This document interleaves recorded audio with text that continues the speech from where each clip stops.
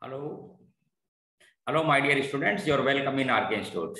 I am Dr. RK Saini, and today I am going to discuss some more questions about electrolysis or electrochemistry, or they are also application of law of equivalence. तो question सुनो ध्यान से lead storage battery discharge causes H2SO4 electrolyte to change from a concentration of 20% by weight. इसकी density दे रखी है अब question समझिए H2SO4 है 20% बाई वेट ये कितना हो गया आपके पास में? 28 परसेंट बाई वेट नोटिस करने वाली बात यह ध्यान रखना। नोटिस करने वाली बात है ये जो 40 परसेंट है, इस समय आपको सॉल्यूशन की डेंसिटी गिवन है। 1.26 ग्राम पर एम एल सोल्यूशन की डेंसिटी गिवन है। इस समय नहीं है। इसलिए कहीं ऐसा जल्दीबाजी मत करना कि साहब यहाँ एच टू फोर का वेट निकाल दिया और यहाँ निकाल दिया सो टोटल सॉल्यूशन का डेंसिटी को यूज़ करते हुए और बोले साहब इतना डिपोजिट हुआ, गलत हो जाएगा। तो आप क्या एम रखोगे? सबसे पहले आपको यहाँ पर एच टू फोर का वेट मालूम है। फिर आप क्या करोगे? आफ्टर रिएक्शन ये रिएक्शन दे रखी है। आप सॉल्यूशन में एच टू फोर का वेट मालूम करोगे क्योंकि आपको उसकी बता रखी है परसेंटेज बाई वेट फिर इससे आपको मालूम पड़ जाएँगे कि साहब कितने mole H two four reaction में कंज्यूम हुआ है और कितने मोल एच टू फोर तो देखो, सुनो ध्यान से। सबसे पहले मैं इनिशियल वेट निकाल लेता हूँ एच टू फोर का। Initial weight of H two SO four तो निकालने के लिए कितना परसेंट था आपके पास में? फोर्टी परसेंट फोर्टी परसेंट का मतलब हंड्रेड में से था सौ। और सॉल्यूशन की डेंसिटी दे रखी है, आपको इसलिए सॉल्यूशन का वेट आपको मालूम है, इतने ग्राम सॉल्यूशन का वेट था।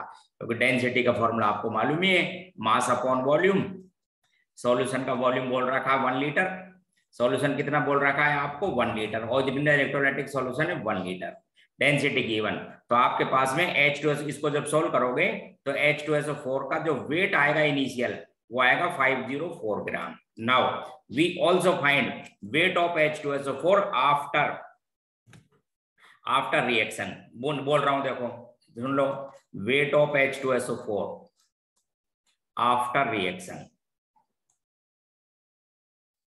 तो आप समझना ध्यान से एच टू फोर का वेट कितना होगा। तो जब रिएक्शन हुई तो सोच लीजिए सपोज़ जितना एच टू फोर बनता है, उतना ही आपके पास में एच टू बनता है। तो मैं बोल देता हूँ suppose X gram H two O is form H gram H two O का क्या हुआ? फॉर्मेशन इतना बना। तो इसका मतलब है कि एक्स अपॉन इतने मोल इतने मोल बोल सकता हूँ मैं एच टू ओ के, इतने मोल्स। और ये जो मोल्स रहेंगे एच टू ओ के मोल्स, और आपको पता है कि H two S O four के मोल बराबर हैं। ये आपके पास में मोल्स बता दिए मैंने फॉर्मेशन किसके? एच टू ओ के। अच्छा ये जितने मोल्स रहेंगे, उतने ही मोल्स आपको पता है H two S O four का कंज्यूम होगा। ये इसके कंज्यूम्ड मोल है। इतने मोल कंज्यूम हो जाएँगे। कितने? एक्स अपॉन एटीन क्योंकि इक्वल देख लीजिए आप क्वेश्चन में। स्टाइकोमेट्रिक ऑफिसेंट इसका भी टू इसका भी टू तो जितना मोल का फॉर्मेशन होगा, उतना ही कंज्यूम हो जाएगा। मैं बोलूँ था अभी इतने मोल में। मुझे अमाउंट बताओ तो अमाउंट भी आ जाएगी आपके पास में एच टू एसओ फोर की। Amount of H two SO four कौन सी अमाउंट जो कंज्यूम हुई है? कितनी? ये मोल से आपको पता है 98 से मल्टीप्लाई कर दो तो ये x upon eighteen into ninety तो आपके पास में ये वैल्यू आती है 5.44 इंटू एक्स इतनी अमाउंट बनी। अब आपके पास में बता सकते हो साहब कि weight of H two S four ये रिएक्शन में कंज्यूम हुआ, ठीक है? तो अब आप बोलेंगे percentage of H two S four of H two S four after reaction तो क्या बोलेंगे? Weight of H two S four divide by total weight weight of solution into hundred अब देखो आप ध्यान से तो आपको क्या क्या गिवन है वो देखिए आप। परसेंटेज दे रखी है सॉल्यूशन में आपको एच टू एस फोर की। कितनी दे रखी है बोलिए? ट्वेंटी एट परसेंट है बाई वेट आपको weight of H two S four initial weight कितना था इसका? फाइव ज़ीरो फोर ग्राम कितना कंज्यूम हो गया ये रहा? कितना कंज्यूमशन हुआ इसका? Four four into X gram तो अब आपके पास में सॉल्यूशन में एच टू एस फोर का ये वेट है चेक कर लो। इनिशियल वेट और जो कंज्यूम हुआ, उसमें सबस्टेट कर दीजिए तो ये वेट है। टोटल वेट सॉल्यूशन का तो देखना ध्यान से, शुरू में वेट कितना था? इतने gram one two six zero gram density के बेस पे। उसमें से आपने क्या बोला? X gram H two SO four बना देखो इधर ध्यान से? X gram H two SO four का फॉर्मेशन हुआ, और ये कम हो गया। कितना कम हो गया? एच टू एसओ फोर जो कंज्यूम हुआ, वो हो गया five point four four into X gram into hundred क्योंकि ये आपको परसेंटेज में दे रखा था ट्वेंटी एट परसेंट यहाँ से जब आप सोल्व करोगे दोस्तों तो करके देख लेना, ये आपको exact value thirty six gram आ जाएगी।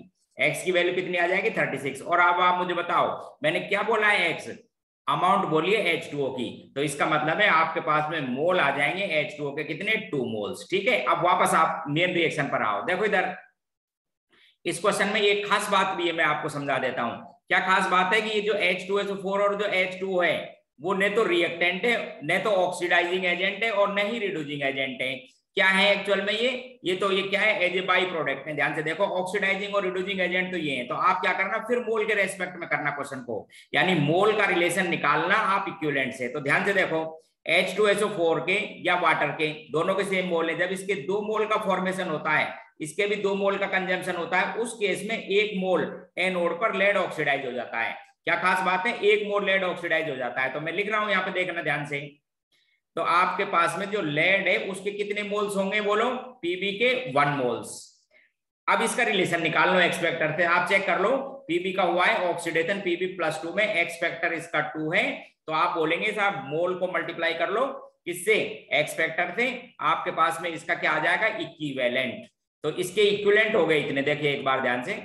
तो आपके पास में इक्विवेलेंट हो गए एच टू एसओ फोर के, इस तरह से मालूम कर लोगे। एक बार देखो।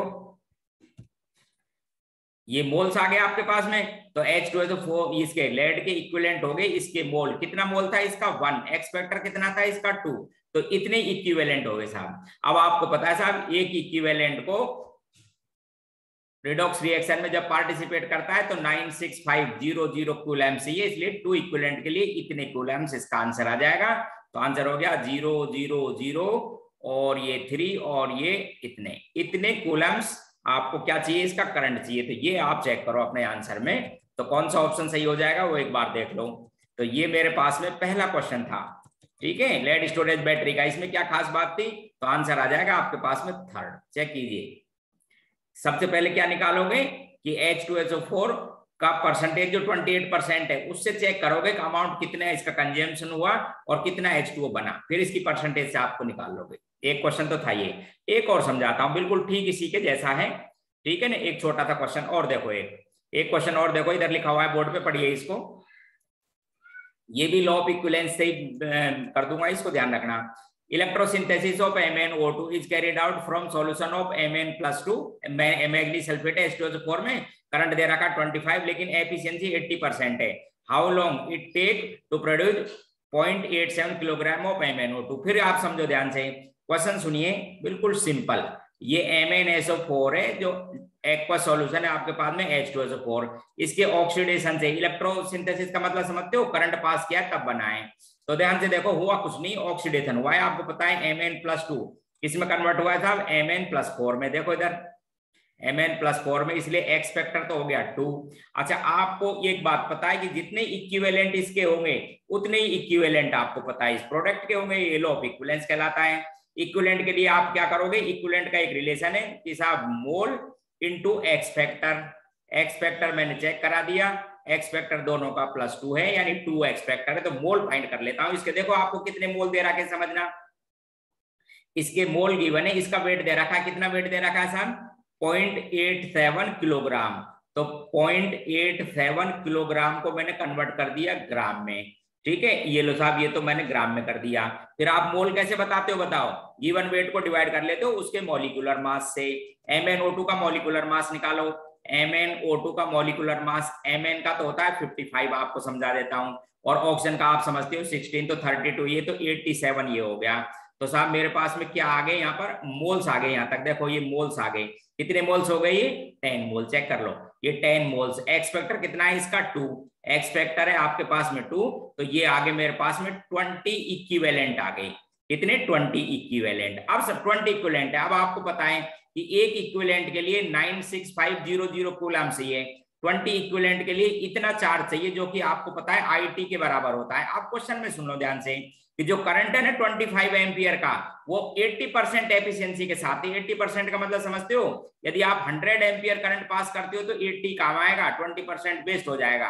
वन पास करोगे तो 80 अपॉन हंड्रेड और आपने 20 एम्पियर पास किया है तो इतना काम आएगा इन टू टी तो अब आप समझो देखिए, कुछ नहीं, अब कैलकुलेशन हो गई। तो ये भी था आपके पास में। ट्वेंटी हो गया देखो इधर, ये ट्वेंटी फोर और ये भी, ये हो गया आपके पास में ट्वेंटी इंटू टी और ये कितना था आपके पास में? Twenty into nine six five zero zero. Coulomb तो आपके पास में दोस्तों फिर टाइम या जो ये ये भी कितना आ जाएगा? Nine six five zero zero. इसमें यूनिट लिखोगे सेकंड में, क्योंकि आई टी आई एम्पियर में करंट है और टी टाइम है सेकंड में तो आंसर आ गया nine six five zero zero. तो ये मेरे पास में एक और क्वेश्चन था, जो आज मैंने आपको डिस्कस किया। आए हुए हैं क्वेश्चन बहुत इंपॉर्टेंट भी हैं तो इनको आप इलेक्ट्रोकेमिस्ट्री में भी पढ़ते हो इलेक्ट्रोलाइसिस के अंदर। और लॉ ऑफ़ इक्वलेंस की एप्लीकेशन भी, यानी जो बेसिक कंसेप्ट चल रहा है एक्चुअल में देखा जाए तो उन्हीं के क्वेश्चन है, ठीक है? देखते रहा करो इन नए नए क्वेश्चनों को, और बता तो दिया ही, सबसे सब्सक्राइब भी करते रहा करो चैनल को, ठीक है? ओके